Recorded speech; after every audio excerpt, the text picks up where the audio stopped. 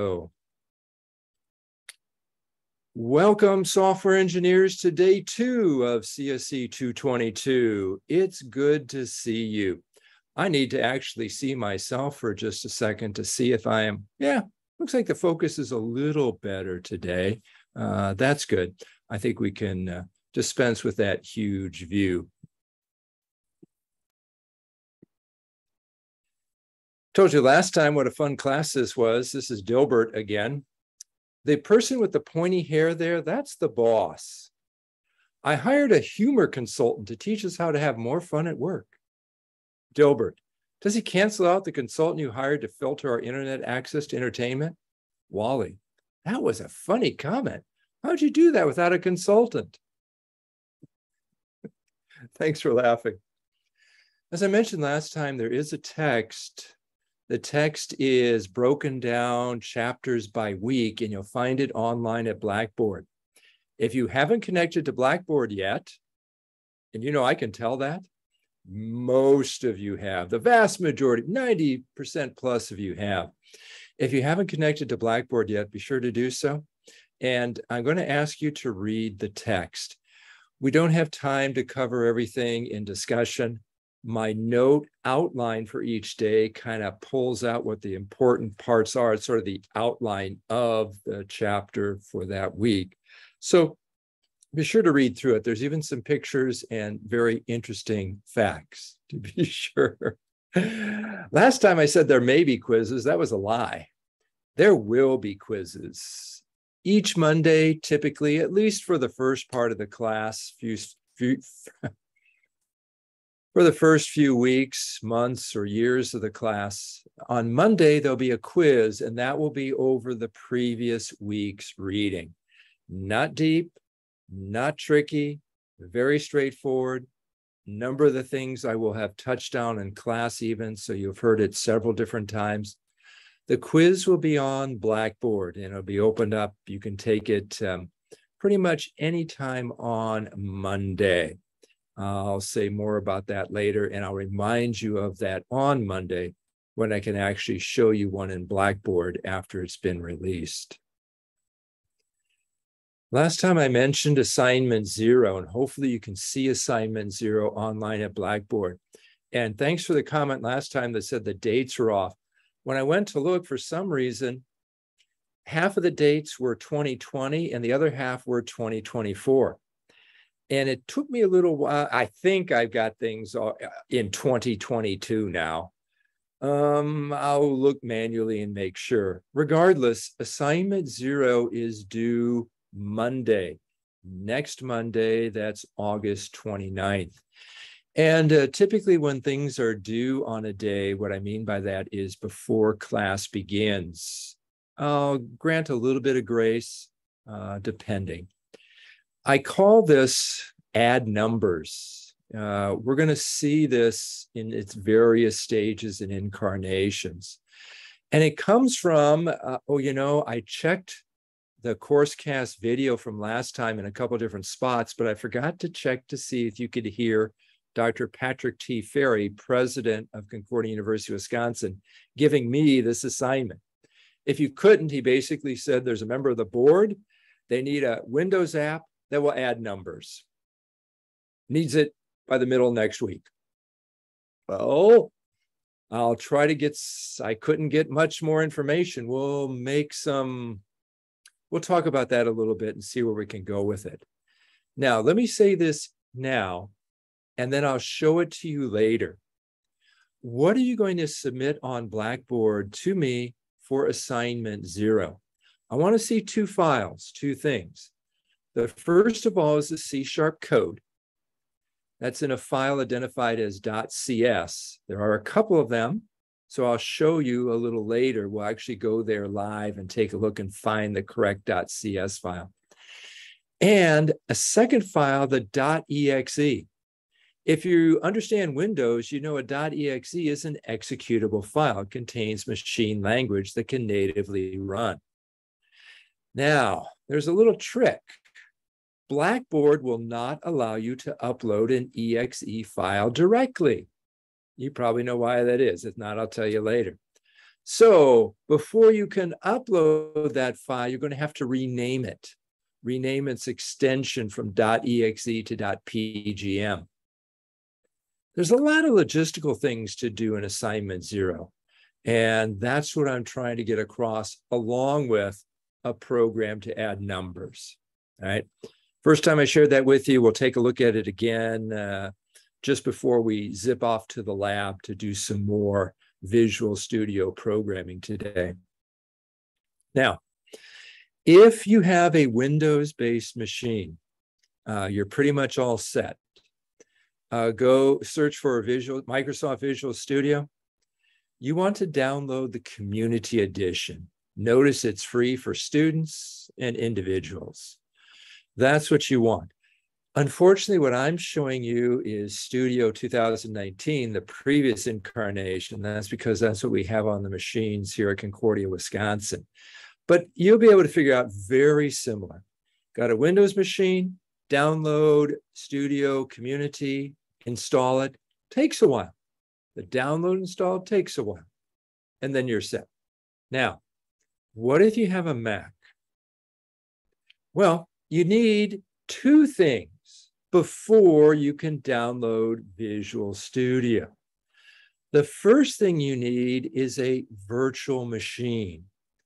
Now, you can read all about virtual machines. Let me go to this one site. Let me share this site with you so you can at least see the link to the site. This is Macworld. If you just search for virtual software for Mac, you'll find this little article. No need to read the uh, advertisements, right? They're going to talk about a number of different ones. But interspersed between the ads and other things, you'll understand a little bit of what a virtual machine is. A virtual machine is a software layer that sits on top of one environment, one operating system, and allows you to run a different environment, like a different operating system, on top of it. I'm using Parallels at my university. The university supplies Parallels to faculty and student for free because they have an agreement. Um, I don't know. I sent a note to ITS there at Irvine, and I know they're really busy at the beginning. So I haven't heard back if you've got this available or not. But if not, there are some free versions of it. And one of those is VirtualBox. Let's switch back and let's take a look at VirtualBox for a second. So first thing you need to get on your Mac is a virtual machine. Oracle, the company, produces something called VirtualBox. And you notice that they have a platform for OS X. Who said OS X? It's OS 10. Sorry. Um, and yeah, people were before, what if I got an M1 processor? What if I have an Intel processor? It doesn't matter. It's okay. If you happen to have an Intel processor, you could do something different. You can use Apple's product Boot Camp, but everybody can do this. So download VirtualBox, takes a while. Install it, takes a while. Configure it, takes a while. But look, there's lots of documentation here. I'll just go to the site, let me switch over there so you can uh, grab the URL if needed. I'm at, guess what? virtualbox.org. And there you'll find that. So the first thing you need is you need a virtual machine. Now, this only applies you got a Mac. You got a Windows-based machine, you don't have to do any of this stuff. All right. Once you have your virtual machine set and set up, what do you have to do next? Well, next you have to get Windows on your machine. Windows is a licensed product. You need a license key to do it. Now, if you go directly to the Microsoft site, I mean, their low end versions of Windows are $100 plus. Well, there are some alternatives. On my campus at Mequon, uh, our IT department can provide students with a license key because we're set up as a Microsoft vendor. If our if the IT department at Irvine is not set up for that, And I'll, if they are, I'll post that for you later. I've got a message into them. One thing you can do is you can just download Windows from the Microsoft site. By the way, if you can still download 10, I do 10 rather than 11, but up to you. You can download it and you can run it there if it and it will not be activated. I think you saw that on my machine last time. Although, no thanks. Although I do have a fully licensed version activation key, it has to connect back to Mequon's server every so often. So you can do that, not act. The, the problem with not activating is you can't configure Windows. And there's some other weird things. And there's some other things, and there's even a way to get a license key fairly inexpensively in this article here from tomshardware.com. yes, it's you. No, no, let's not do that. All right. If you have a Mac and you get stuck, there's two things I'm going to tell you. First of all, you need to complete the assignment by Monday. So use Irvine's lab. Go into the lab, log in, Windows is running, run Visual Studio, and do this. In the meantime, work on these other aspects. If you run into a problem, connect maybe with somebody else in the class or ask the IT service, what, what do you call it, Irvine? IT services, maybe, uh, at Irvine.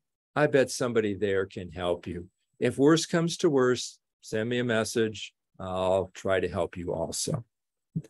Now, if you run a Linux based machine, you know what you're in for and you're totally on your own. I've got an Arduino. Well, too bad. Boss, you don't appear to be working. I am working. I'm designing a network upgrade in my head. All I ask is you don't look like you're enjoying it. okay, uh, you're going to be Dilbertized by the time we're done here. Last time, we took a little look uh, at the beginning of Unit 1. There are three academic units in CSC 222. They revolve around these three concepts, idea, implementation, interaction. You can read a little bit about it now. We'll talk more about it later. Don't worry too much about it now. But this first unit is all about the idea of software engineering. Roman numeral zero, uh, an overview. What I'm trying to do is give you some insights from some other people and other authors. Last time I shared with you and read more about it in the text from uh, Macmillan, Macmillan Encyclopedia of Computer Science. So let's take a look at software engineering through the lens of Ralston and Reilly, the authors of Encyclopedia of Computer Science. What you're going to find, and you'll see this more clearly when you read the text, is they're both really saying conceptually the same thing. We said this last time uh, when we reviewed Macmillan in the beginning, and the beginning of software engineering is the mid 20th century. Little history lesson. First true computer, 1946, ENIAC, programmed by women changing wires in plug boards. By the time the 1950s come along, we have a little bit of what might seem to be to us programming. And certainly by the 1960s, we do. And by the 1960s, there's been enough programming that folks realized there was a problem. Why?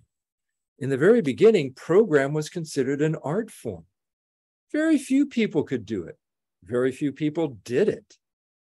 And whatever they did was just for them, just for their organization, and very specific to one specific machine. Programming was an art form. Ah, that thought leads to an issue. And that issue is something we called last time. Oh, okay, I guess I have to tell you.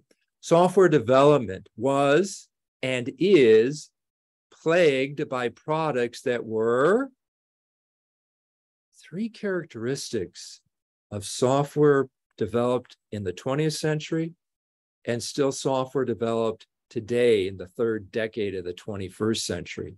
Software development is plagued by products that are over budget, they cost too much. Behind schedule, they were late and full of bugs. They didn't work at all. They didn't work correctly. I call these three aspects of software the unholy trinity. Costs too much to develop it. Development takes too long, much longer than we thought and planned for. And we're all done. It doesn't do what we wanted it to do. Ugh, that's a problem. That was recognized as a problem in the mid 20th century. And that's why software engineering was developed as a discipline, as an idea, as a thing. Software engineering is a response to a crisis. Why are we doing this? Because people didn't know how to develop software. They thought it was art, they can do whatever they want to.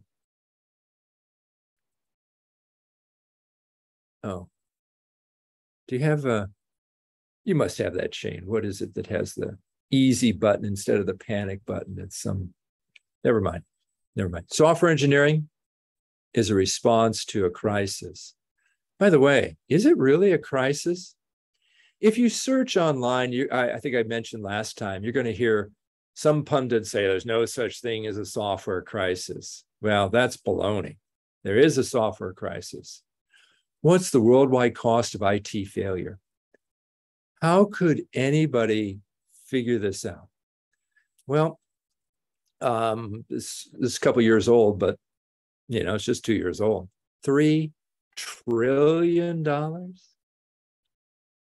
And uh, the author says these are the most reasonable numbers I've seen. You can see numbers online in the tens of trillions, and you can see numbers online in the millions. I think those are both wrong A couple trillion, a couple trillion dollars. Yeah. Do we need software engineering? Absolutely, we do. Now, this is something to keep in mind, something that is extremely interesting. What is the definition of software? Every legitimate definition of software, if you ask somebody, what is software? Well, if you ask a coder what software, a coder would say code. But if you ask a software engineer, the software engineer would say code plus documentation. All standard definitions of software include not only code, but also documentation. What do we mean by documentation? Well, yeah, we mean comments in the code and other things, professional programming practice. But we also mean documentation that describes the product and the process and the product. And we'll be seeing that as we go along. So don't be misled. Software is not just code, software is code and documentation. Important idea.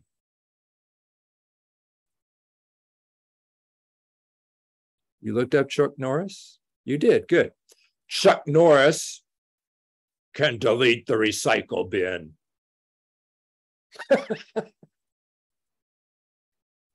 You're a Mac user, you have no idea what this is. See, Mac is an environmentally unfriendly system. They have a trash can. The more environmentally friendly Microsoft has a recycle bin. I'm kidding. Neither one of them are environmentally friendly. Uh, but when the Mac uh, GUI first came out, it had a trash can, made perfect sense. Windows couldn't copy it, of course, so they have a recycle bin. Delete. Okay, your turn. This is a quiz. No, not really. Some of you know about Chuck Norris, and some of you don't. That's okay. That's okay. Don't read other people's answers if you can help it. Would you go to chat and answer this question? It's a well known Chuck Norris thing. How many push ups can Chuck Norris do? Would you just go to chat and answer that? Already seen a correct answer. Some other really good ones, by the way.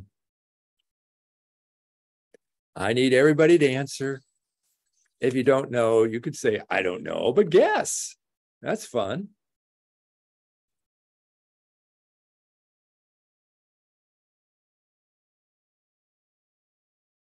We're getting there. We're getting there.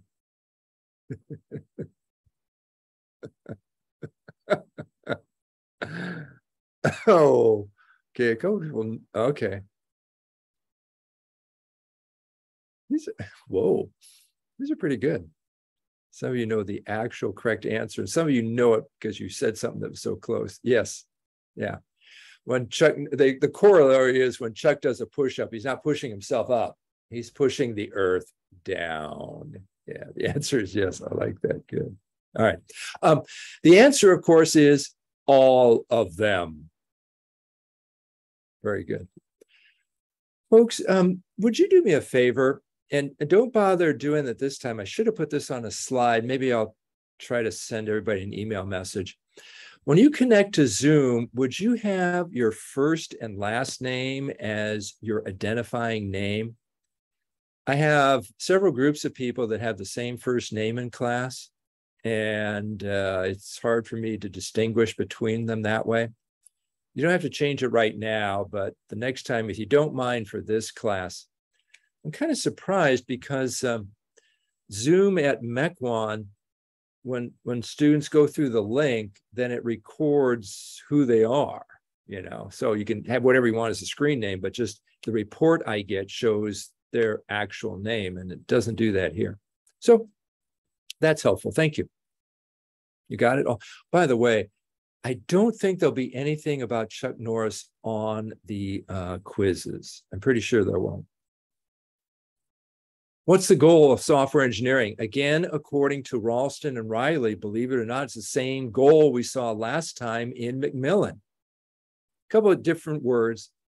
The goal is consistent products which meet requirements. Now, another way of saying that is products which are acceptable, consistent products which meet requirements. We'll be spending a number of days talking about the idea of requirements. We'll see that. Ralston and Reilly added some. So what's that mean? First of all, they say it means the software is correct. That's good. Secondly, it means it's usable. That's something, you know, as coders, we don't think about a lot. Once we hack that stuff out and it compiles, we go, whoop, we're done. Uh, not software engineers. Not only does it have to be correct, it also has to be usable, which we'll define and discover later, and on time. Now, as students, we know a little bit about this. I mean, there's a deadline, right? Does Professor Tallman, does he yell at you if you're late? Nah, he's too nice a guy. I'll yell at you. Okay. But why is there a time constraint? Because in industry, there's always a time constraint. You're producing a product for somebody or you're producing a product for market, there's a time constraint. I, I, don't want to spend a lot of time talking about this. So again, please read about this in the first, the week one readings of your text online at Blackboard. But this class is software engineering. If you know some things about engineering in general, that will give you insight into software engineering. Similar process, but in many cases, a very different product. So you can ask yourself this question What is engineering? Read a little bit of my answer in the text. But even more important is to think about this question What's the difference between science and engineering? Your program is called computer science, and I believe there is science in computer science. This course is software engineering, and it's definitely about engineering. So, what are the differences? When you read the text, you'll see a couple key terms creating and building. Why does a scientist create? Why does an engineer build? And that will help you see the difference. If we had more time and didn't have to go into the lab today, we could talk about automotive engineering. I apologize, but most of my analogies and examples and illustrations come from cars. Can't help it. You think of something different that works. Engineering? Okay. Did you finish writing the software? No. I spent the last three days setting up my programming environment. So you've done nothing? Nothing you'd understand. What makes this a little more meaningful for us is whether you're running Windows, Mac, or something else, if you want to do the assignments in this class, and by the way, there'll be a number of assignments, and they're all going to be done in Visual Studio for Windows. So you got to get that environment set up. And interestingly, all the time you invest in doing that is preliminary to doing the actual task of assignment zero. But I know it, I know it's there. And any good software engineering manager would know that's part of the job also. Getting all your tools set up, configured, in place, accessible. Yeah, that's important in software engineering. So finally, what is software? And Roman numeral zero is overview, one was engineering, that went really fast. What about software engineering? We'll be talking about it throughout the course, but we got to begin somewhere. So let's begin now. Here is my concise, tiny definition of software engineering. Software engineering is the management of the entire software development process. Oops. Folks, I apologize. I use a number of standard to me abbreviations. And if you are on the Mequon campus, you know what these are. S slash W is my abbreviation for software. There's no reason I couldn't spell it out because I don't type anything in. I, I speak it in, but it just does that. Soft SW, software engineering is the management of the entire software development process. We'll be talking a lot about management, but don't think of it as some kind of business class that you're a supervisor. It's not quite that. Why do we do software engineering? What's the goal? Well, the all goals in computer science are to solve a problem. We solve a problem by producing an acceptable and usable product. We solve a user's problem by producing an acceptable and usable product. Acceptable to whom? The user. The user. Don't worry, we'll see all this again. Um, a couple important points that I'm going to just run through pretty quickly. First of all, there's a there's a big difference between an academic environment, what we're in right now, and a production environment. By production, I mean you're working in the software industry. I worked for the California Department of Transportation and I worked for Hewlett Packard Company in five divisions across three states in my not so illustrious career. There's a difference. There's a lot of things that we cannot emulate in the production environment. We, we don't have enough time. Real products are developed by huge teams of people over months, perhaps years. We're just going to simulate that. In this class, we're going to do one ongoing individual project and one ongoing team project. Right now, many of you are frightened. You say, I hate teams. I've worked in teams before. Teams are awful, ugly. I'm the only one that does things. Other people don't. I know. I know. When you work in industry, you will work in teams. And the difference is in industry, a non team player is fired. We don't do that in the university. Well, we got to do it.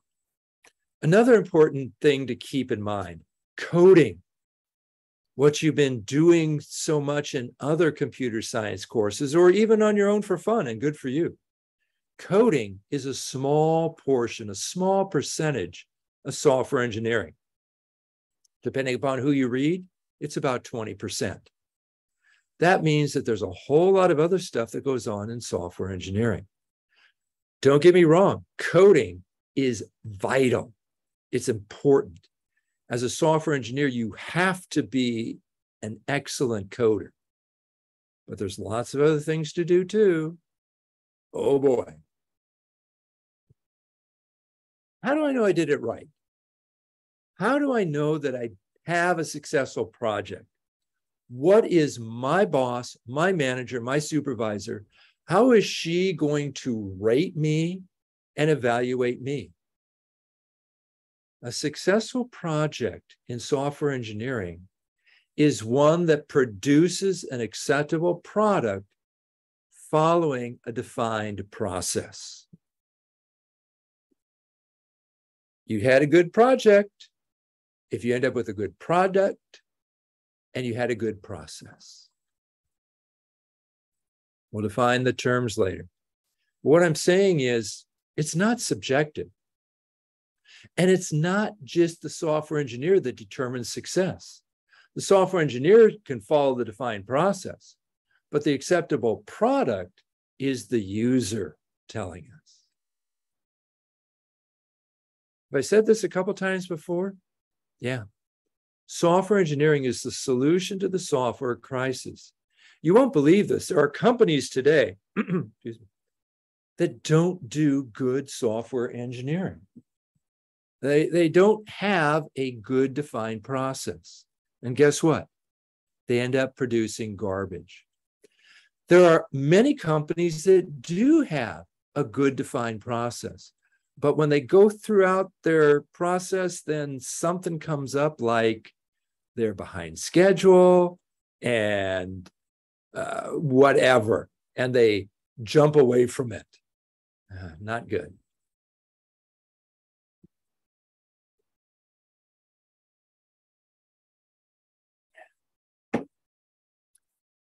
Heard a couple puns from me last time. It won't be the last time, though.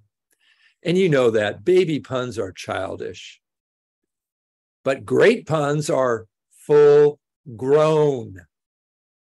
Full grown. I have to be, I have to be my own laugh track. Okay. All right. We'll, we'll just move on. Yep. Mm-hmm. Good. Oh, thank you.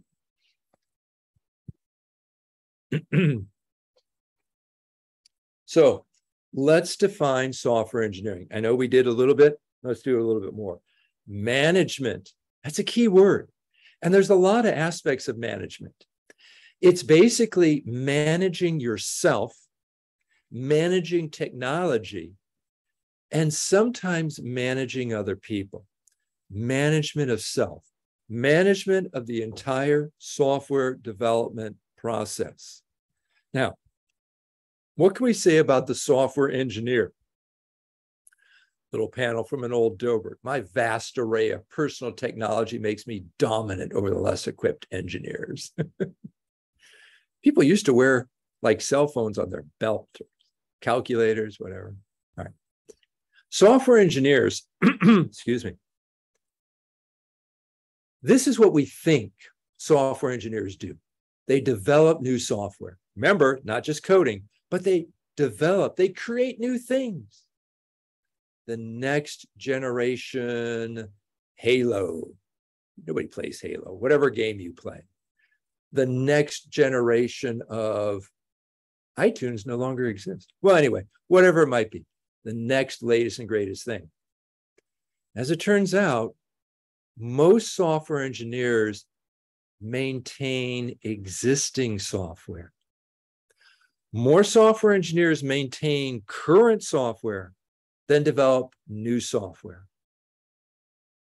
Apple has more engineers maintaining current incarnations of Mac OS and iOS and their apps than they have working on the next gen stuff. By the way, maintaining existing software can mean two things. Number one, enhance it, update it, add a new feature. Hey, it's Rev 2 of this wonderful thing.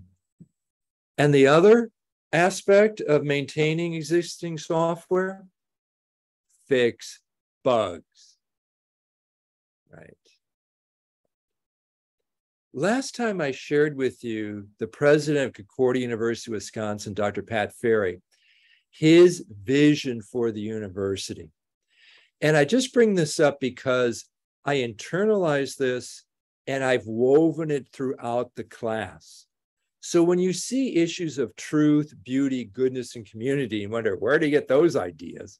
Well, Dr. Ferry didn't dream them up either. These are the so called transcendentals of philosophy truth, beauty, goodness, and community. So those are going to pop up from time to time. Just realize it's just how I'm structuring the class. I think I shared this one with you last time. Paul writing to the church at Philippi, thinking about these things true, beautiful, good. It's one of the few selfies we have of the Apostle Paul. I always thought he was taller.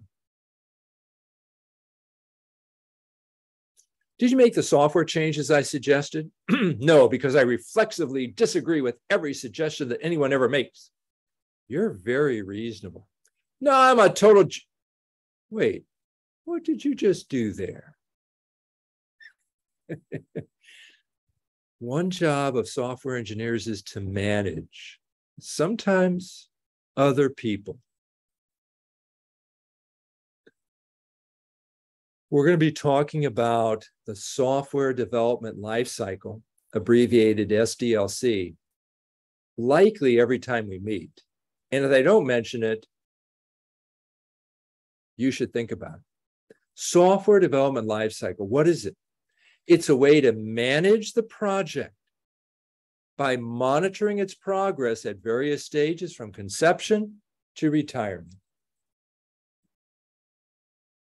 Why were you thinking of me when I said retirement? the software development lifecycle is a way to manage the project by monitoring its progress at various stages from conception to retirement. In other words, it's a structure, or another typical term is framework. It's a structure or a framework. It's the process, it's how to do software engineering the software development lifecycle. I said it's a way to manage by mon- how do you monitor progress? The idea is one of milestones. A milestone is a way to mark progress. In ancient days, they actually had a stone that they carved, like in England here, and that's Ireland. You don't even know how to pronounce those things. How many kilometers to whatever town it is? Today, if you drive down the freeway, if you're driving down I 405 or I 10 or I 5, there are mile sign and exits, right? It's exit 343 or whatever it might be. And then it's exit 355. So those are marking the progress as you drive.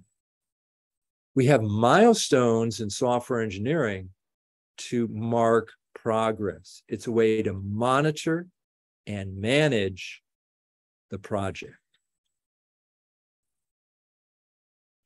All right, what is it? There are six steps, stages, or phases in the software development lifecycle. Let me just list them all right now. Don't have to know anything about them right now first phase or stage or thing in software development lifecycle is requirements. The second phase, specifications. Those are different. Third phase, design.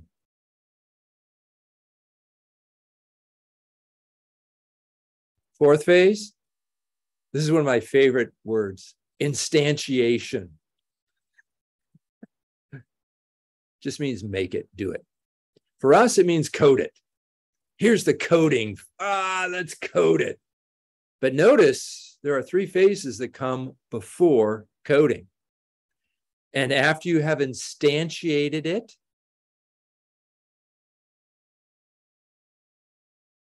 oops.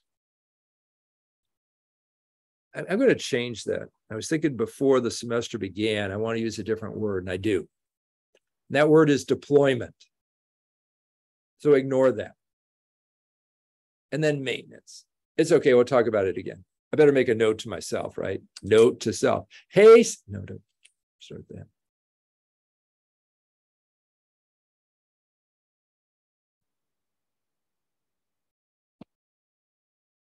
We'll see these six phases in depth as we move throughout this course. One thing software engineers should think about why are they doing this? Now, if your goal in life is to graduate, get a job, and make as much money as you can, I probably can't blame you. Because when I was an undergraduate, that was my goal too. But actually, and as you get older, and I didn't have to get that much older, there, there, there are other things. Whatever you do, Paul tells the church at Colossae, Work heartily as for the Lord and not for men, knowing that from the Lord you receive the inheritance as your reward. You are serving the Lord Christ. One thing that happens often in the workaday world is we don't get praised enough. You don't get thanked enough. Heck, that happens in the academic world. Did I say thank you today? Thank you for coming today. We don't, well, it's not going to happen. But Christians we work not for other people. We are serving them, of course, but ultimately work heartily as if working for the Lord. One more time. What's the goal of software engineering? Create an acceptable and usable computer system. Now, software engineers, we think about software, but a computer system has hardware, software, and people. That people is not only us as developers, but our users. So we're oftentimes constrained by the hardware platform. You got a Mac, here's that's it. But we do have control over both software and people. Acceptable to whom? To the user. That's the goal of software engineering.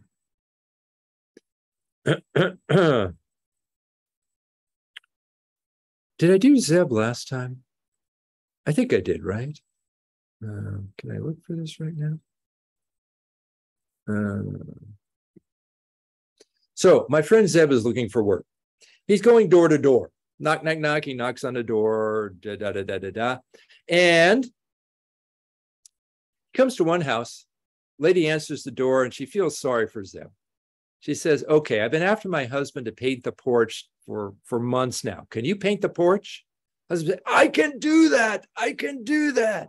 Cool. She says, Go around back to the garage. You'll find paint and paint brushes. Come back when you're done and I'll pay you for what it's worth. So, about 90 minutes later, Zeb comes back, knocks on the door. Lady comes out. She's looking around. The porch isn't painted. Zeb says, All done, lady. And oh, by the way, Tell your husband he has a Lamborghini, not a Porsche. Lamborghini, not a porch. okay, folks, beginning next time. Oh, I got the CUW mission statement in there. And it says CSC 370. Now ah, I got to change all that. Beginning next time, you're going to see some assignments that say CNCS for Christianity and computer science, where I'm going to ask you to think about, and we'll discuss it too. I'm going to ask you to think about a connection, a relationship between the commandments and software engineering. Hmm. Why? Concordia University Irvine is a Lutheran Christian university. I don't have their mission statement memorized, but when you read through it, you'll find that they're they want to develop folks who are great role models and understand a Christian worldview, realizing that not everybody who goes to Irvine is a Christian, and I know that, but it's part of the mission to develop a Christian worldview. In just a minute, I'm going to jump into uh, Windows and I'm going to um, show you some things in Visual Studio. This is the code we created last time. If you haven't created this code, I'm going to encourage you, go to Visual Studio, do follow through what we did last time. If you don't remember all of it, either look on one of those sheets or look at the end of the video from last time and just do this. Make sure you can do this much. It will give you some insight, mainly because you might make a mistake or two, and then um, figuring that out will be very helpful. By the way, in this class, we are going to think deeply about code comments. This is an art form to be sure, but there's some science behind comments. The first time I'll say this in class is this a good comment explains why. No reason to say what you're doing. Comments are in code. If you're looking at comments, you can read code. There's no reason to say, I'm adding num1 plus num2. I know that.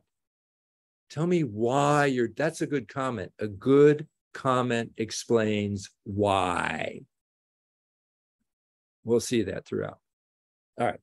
Now, the fifth stage in software engineering is actually deployment rather than execution. And in assignment zero, I'm going to ask you to deploy your code by uploading it to Blackboard. And then I will download it, execute it, and see how you did. We're going to be talking about software deployment a little bit, but heavily in unit three of this class. Now, how do you do that? Well, I'm going to capture it here, and I think we'll have time and I can show you when we're actually in the Windows environment after we go through adding some more code. What you need to do, first of all, is you need to find it, it may be in something like this your username, source, repos, and then under a folder that is the name that you gave the project. Remember up front, we gave the project a name? When you open that folder, you'll find two things. The SLN solution file, this is what you double click to start Visual Studio. And then another folder with the same name. In that is all of the stuff that you need. If I double click and point at that, I have a bin file for binaries, an object file, a properties file. And then here, see this stuff here? Form1.cs. Form1.cs, that's your code. That's your C sharp code. You can verify that if you open that in a text editor, you'll see the code. Notice there's some other things with CS like designer.cs and program.cs. Eh, form one. That's what you want. Now, what about that executable? Well, then you open up the bin, double click on bin. Under that folder will be a folder called debug. Open up debug. And under debug, you're going to find an executable file. This is what you're going to rename, copy it to your desktop, rename it .pgm, and then upload that. Don't rename it right here. That is your actual code. Now, one tricky thing, if you're not used to Windows, be sure that in your folder that's looking at this, under the View tab, you turn on file name extensions. Otherwise, you won't see that exe. You won't see, you can tell it's the right one. It says application here. But be sure that in Windows, under the View tab of that window, you select File Name Extensions. Otherwise, you may not see the .cs, you may not see the .exe, etc. Now, Once you have that file, copy it from there, put it on your desktop, rename it, rename the extension from exe to pgm. Why are we, oops, why are we doing that? Because Blackboard will not allow you to upload an exe. Does it make sense? EXEs are executables. It could be malicious code. That'd be bad. So we just, we're, we're fooling Blackboard. We're just telling it, oh, it's not an EXE, it's a PGM. You rename it, upload it. I'm going to download it, rename it EXE, and then run it. There's a lot going on here. You got questions, you'll ask. Okay. All right. So,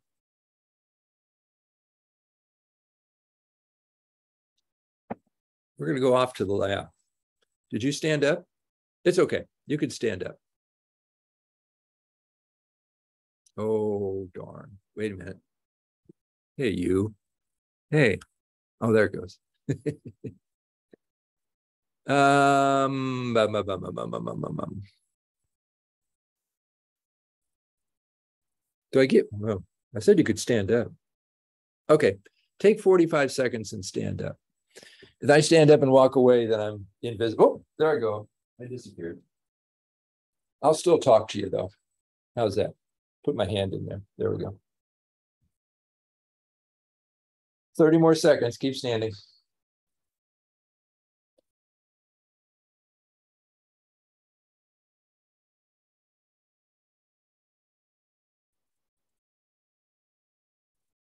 Fifteen more seconds. Keep standing.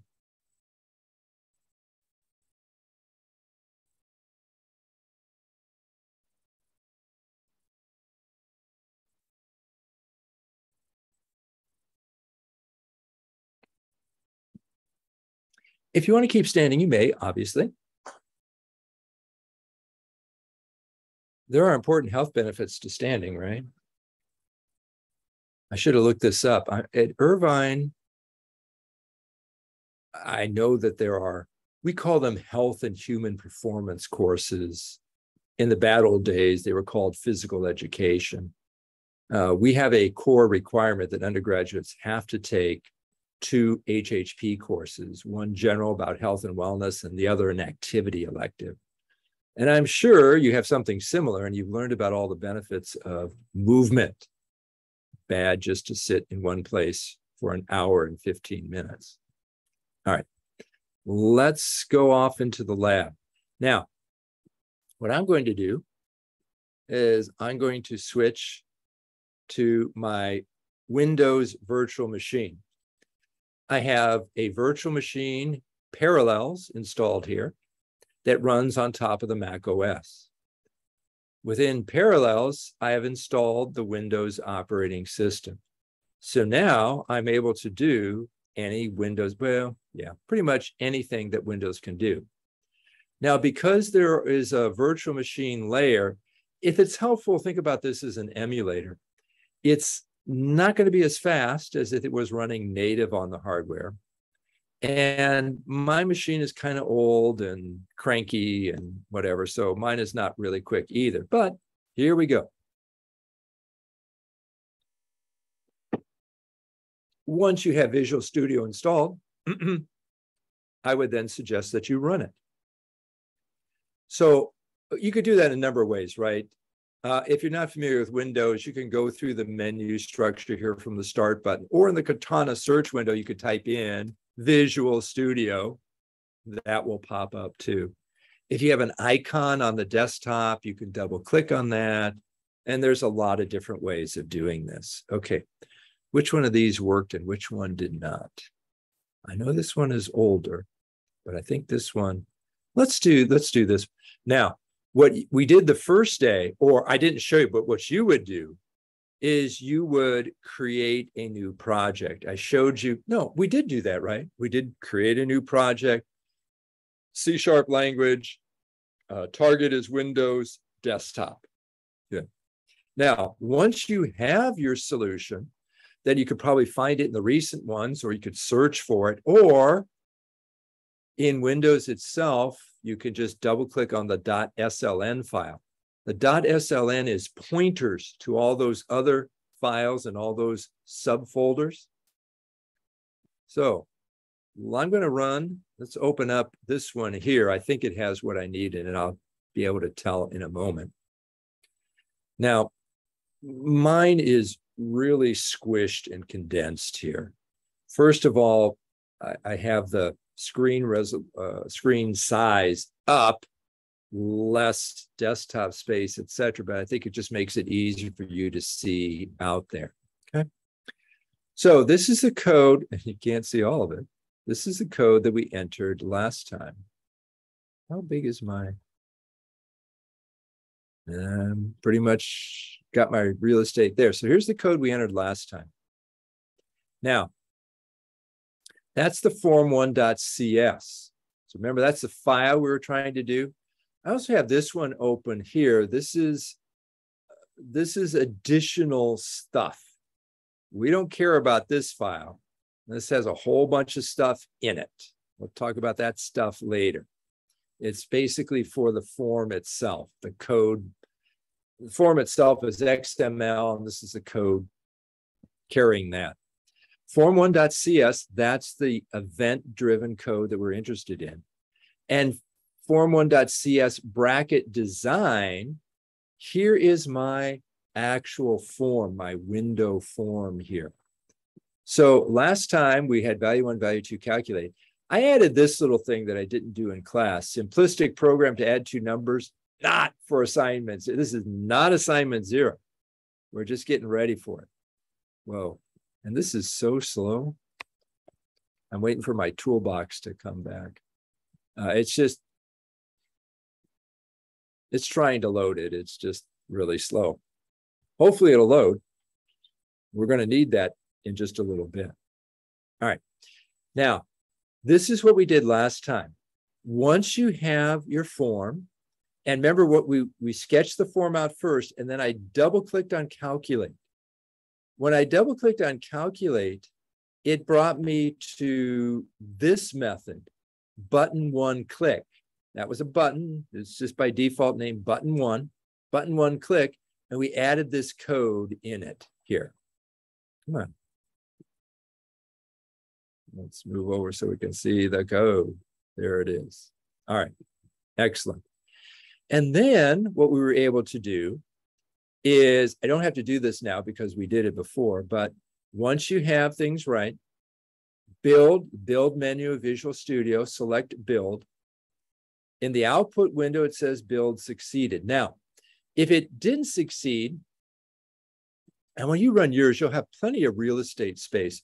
So just have the output window open. I'm going to close it because it just takes it. See, there was an error to tell you here, etc. I'm just going to get rid of that because I can't see very much with it sitting there. After you've built it, debug is how to run it, but we're going to begin with start without debugging.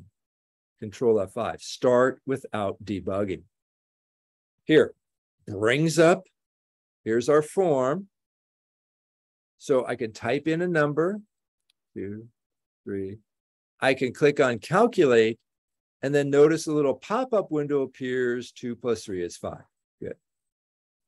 Now, there are plenty of things wrong with this code. I know some of you are thinking about that. What if instead of an integer value, I typed in a real, a floating point value? 2 plus 4 plus 2 plus 9 You can see this, right? Because I'm sharing the entire window. Yes, hopefully you can see all this. Tell me if you can. Unhandled exception has occurred in your application. What is it? Well, what was going on here is we entered a real slash floating point value. Exactly right. But rather than int, we should have cast our variable as double. All right. Now, I say continue, it will just get back here, but then we'll have trouble. Now, here's one thing uh, to think about. when a mistake like this happens, we're tempted to switch right back to studio and make changes. Don't do that without first exiting out of the running application. If you don't quit and shut down the running application, that's with the X in the window here, it's not going to, uh, your changes to your code are not going to catch. Okay, good. Now, the code I'm going to type in, you'll find on that sheet on Blackboard that says week one code snippets under day two updates. Our first update is to use double instead of int. Okay, so when we cast these, and now, yeah, people are telling me there's better ways of doing this. I know. Let's cast things as a double rather than as an int. And come on, I, I, I should turn off sense.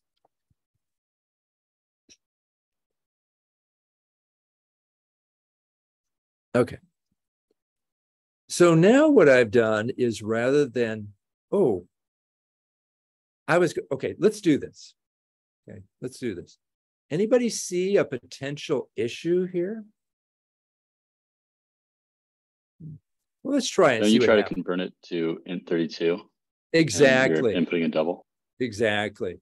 You could see this to, we're going to convert it to an int32. Let's see what Visual Studio tells us. Now, why did it do that? This is going to be a runtime issue. Depending upon which way we go, well, let's try it and see. Start without debugging. Okay. 2.3 times, times plus 2.9 unhandled. Yeah. Okay. Well, this time, let's quit the app, shut it down. And now, rather than the method to int32, guess what it is?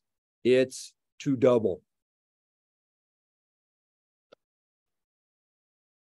Yeah. Well, you do have to be able to spell.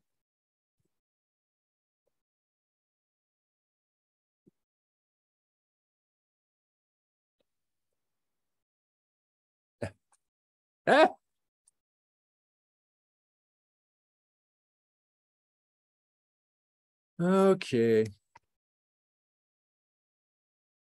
There, we go. maybe. Hmm. How are we doing now? Are we okay? Build. Now remember, every time you make a change to the code, rebuild it. Build is compiling and it's doing some linking. Build succeeded. Let's see. Yep, thank you. Now let's run it again, debug. Start without debugging. 2.3, 2.9, 7.9. Aha, 5.2. Is that the real answer? Yeah. Okay. That works. Good. Now, let's test it for what about a negative value? Does that work? That works. What about a negative? Can I add a real and an integer? Okay, that works. As software engineers, remember I talked about a usable system? sometimes users enter incorrect things into fields.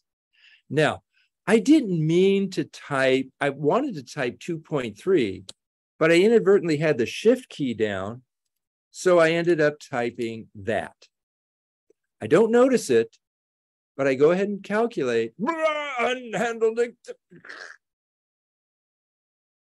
This is called an OS abend.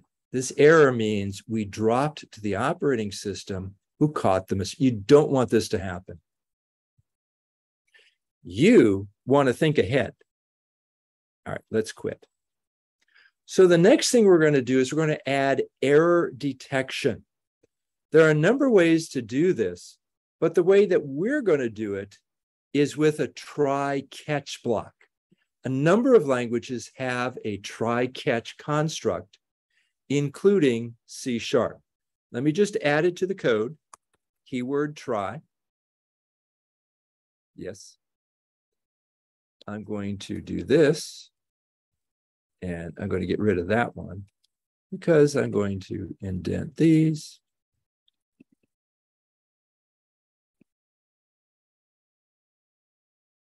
Thankfully, it's not Python.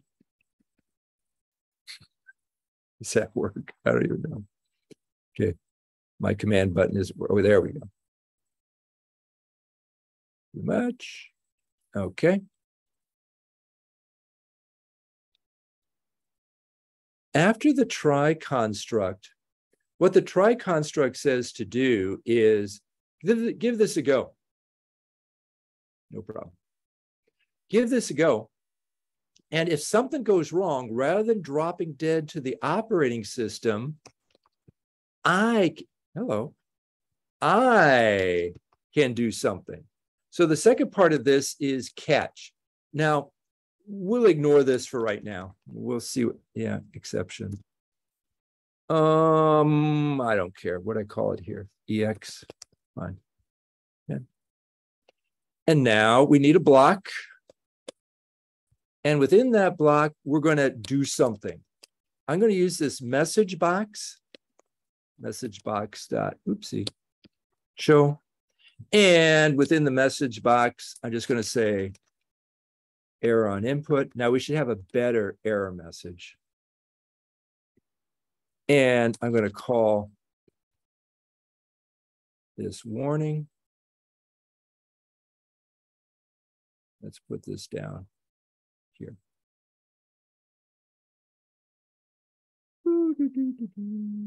There we go.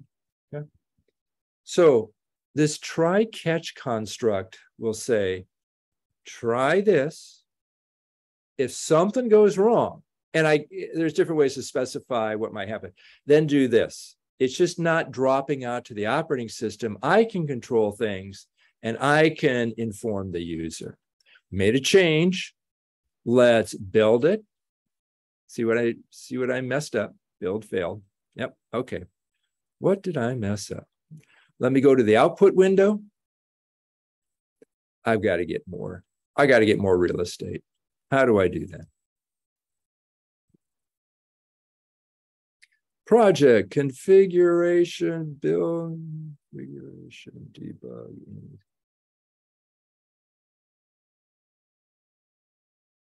Error. Oh, some oh, oh, okay. Where did I forget? This? Yes, come on. How about? Are you going? Come on. Oh, for Pete's sakes. Okay. All right, let's, oh, no, no, no, no, sorry, not there, dummy. No. How about here?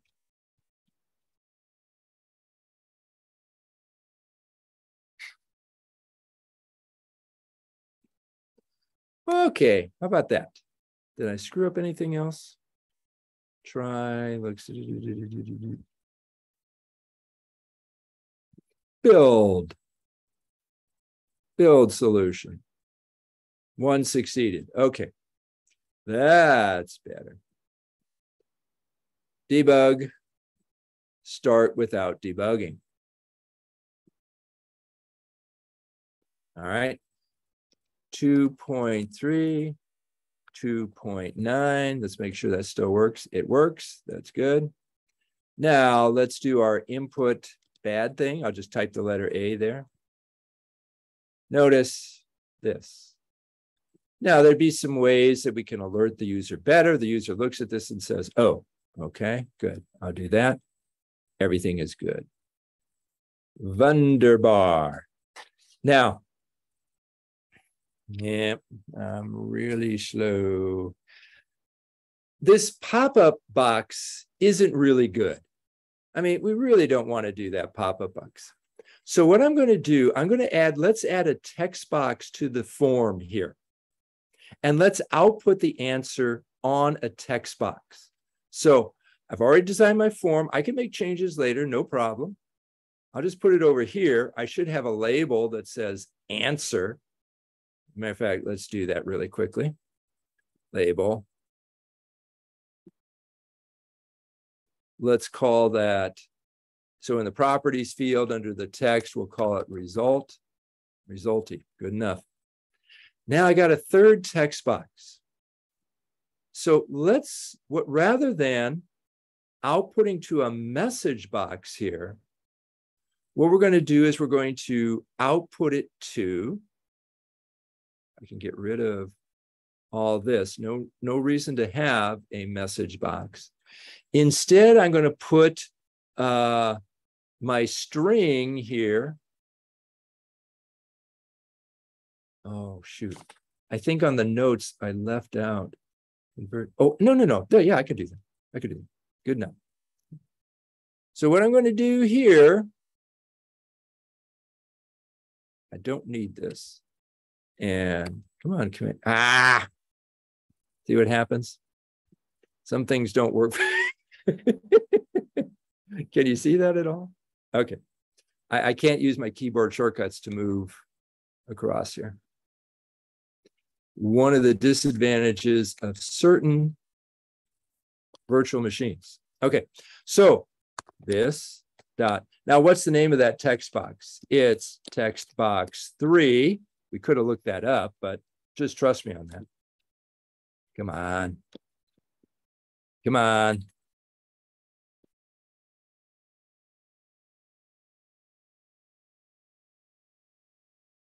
We're going to use the string method in conversion, and we're going to send it answer. I think it's called answer. Is it called answer? No, it's not called answer. It's called sum. Why is it called answer there? Oh, I changed everything.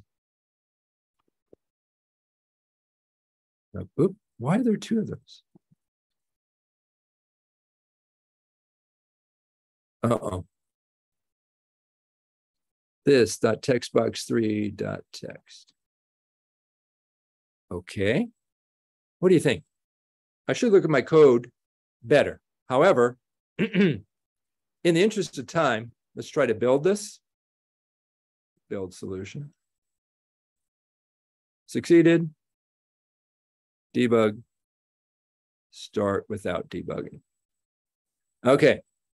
2.3, 2.9, well, 2.9. There it is. At this point, folks, you can review this, and this will give you, I would encourage you just to do all these things, make all the changes. Just don't screw up like I did. You know, you do it well. Thank you. Um, this is not assignment zero. Take a look on Blackboard. There's a little document that says the running total idea. Result of, yeah, I know. Uh, you do it better than me. I'm showing you the way not to do it. You do it better than me. And don't forget, when you're all done, be sure to close it down before you make changes. You don't have to do a file save all, you can, but every time you build it, things are saved. And then I will exit out of here. Good. Okay, folks, sorry, I hate to push up right against uh, the end of the period, but check on Blackboard do assignment zero. Do the readings and be prepared for a quiz on Monday. Don't panic about any of this. But in addition, for those of you with a Mac, begin spending time. You don't have to do it on your own machine. You could do it in the lab machines at Irvine there. That's okay too. All right, folks. Are there any uh, questions, comments, or concerns here at the very end?